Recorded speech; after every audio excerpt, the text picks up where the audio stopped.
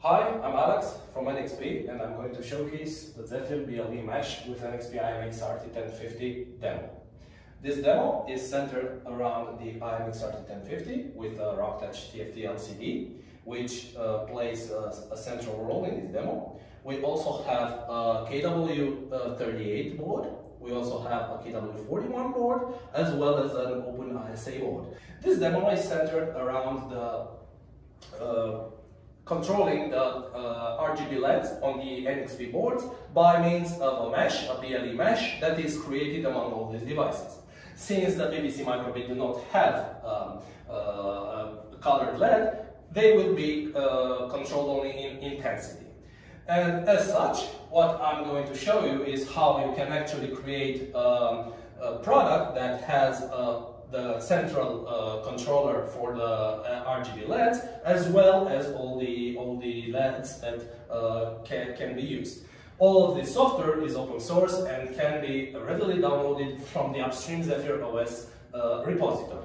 Now, I'm going to uh, select the KW41 board and I'm going to make uh, the RGB LED by means of PBM. I'm going to make it full red.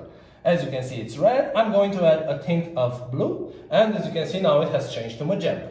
Now I'm going to select the Vega board, and again, I'm going to make it a full green, and I'm also going to add a tint of blue. You can see that its color is now cyan. Now going back to the KW38 board, we're going to make it again uh, full blue, and then let's just add a couple of uh, red, and you can see it's a slightly less nuance of magenta.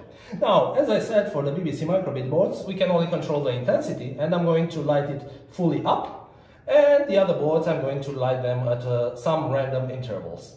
And this is the way they, they, they look.